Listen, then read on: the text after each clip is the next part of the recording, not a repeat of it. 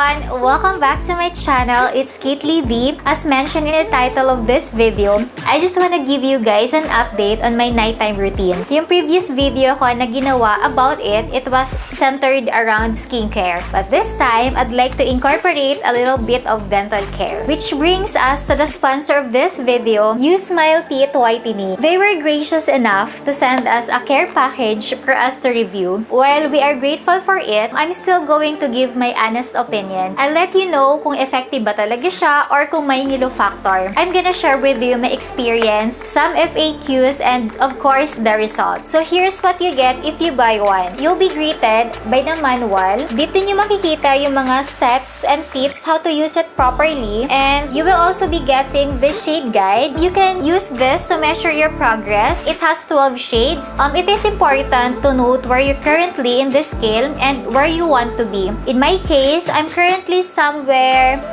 um, 7 to 8.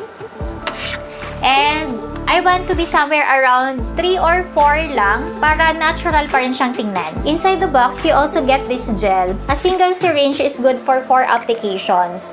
So, meron siyang marks para alam nyo kung gaano kadami ang ilalagay nyo sa mouthpiece per use. So, itong tatlong syringe is good for 12 sessions. It also comes with the UV light unit and the mouthpiece. It automatically lights up when used, so Let's try this out. Before anything else, we have to brush our teeth. And since nagawa ko na siya, next is to attach the mouthpiece dito sa UV light and apply the gel dito sa front part of the mouthpiece where your front teeth will rest.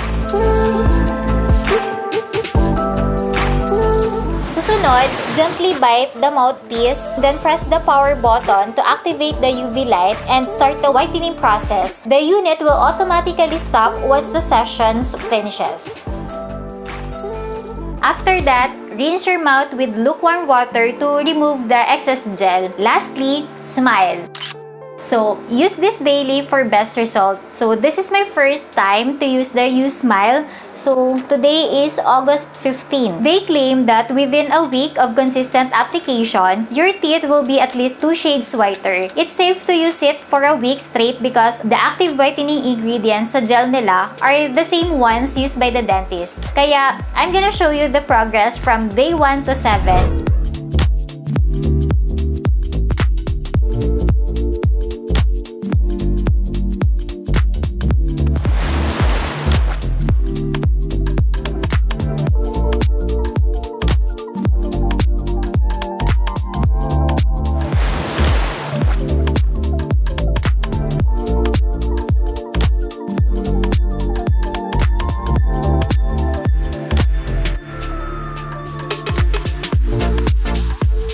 So finally, I'm done applying it for the whole week and I'm really impressed on how it turned out. Sa una, parang hassle siya gamitan kasi you have to figure out which part goes where. Pero once na gawa mo na siya, sobrang dali lang gamitin. It's as easy as putting a toothpaste on a toothbrush. Kung natatakot kayo kung baka mangilo yung ngipin nyo, I'm happy to say that wala siyang ngilo. Aside from that, in just 3 days, may makikita na kayong significant improvement sa shade ng teeth nyo. Sa experience ko, sa isang linggong gamit, I was able to jump from 7 down to 5. I still have one syringe left, so kayang-kaya ma-achieve yung target ko na somewhere around 3 or 4. If you're interested in getting a U-Smell kit, it's available sa Lazada and it costs 1,499 pesos only. I know you guys will have some questions, so I'll be listing down the FAQs. Be sure to visit their Facebook and Instagram for more updates. The links on where you can get this product will be on the description box below. And now that I'm done with my teeth, let's proceed with my skincare. I am going to show show you the new skincare products that I've been happily using for the past few months. These are totally different products compared sa unang skincare video ko because I wanted to try something new and find out if they're worth keeping. This time, my priority is more on hydration. And just a reminder, everyone's skin is different, so this routine may not totally work for you. But just try and see what works best. So, let's start with the routine.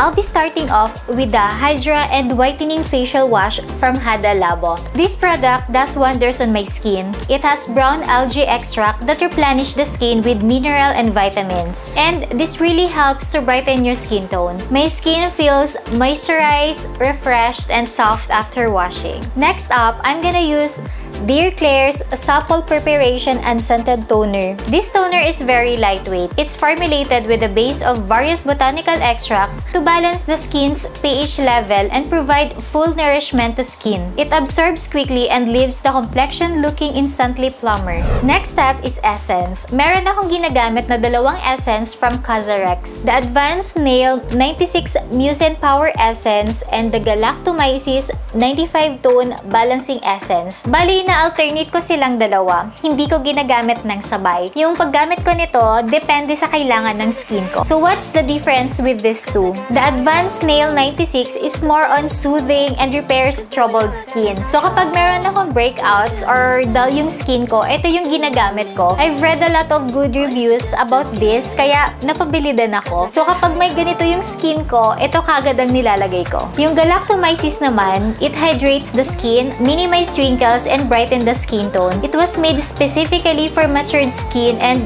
this works amazingly well on dry skin types that are prone to wrinkles. Gustong gusto ko yung ingredients nito kasi meron siyang niacinamide and hyaluronic acid that is good for anti-aging. They enhance formula's moisturizing and brightening benefits so your skin looks visibly healthier and more radiant in no time. Mostly, ito yung ginagamit ko kaya ayan, paubos na siya. Lastly is this green tea seed essence and lotion is perfect for dehydrated skin. This works great and it does a really good job in hydrating your skin. I really love all of these products kasi it's been working wonders for me. So if you're interested, all the links will be in the description box below. So that wraps up this video. Thumbs if you liked it and subs if you loved it. See you in my next one. Bye!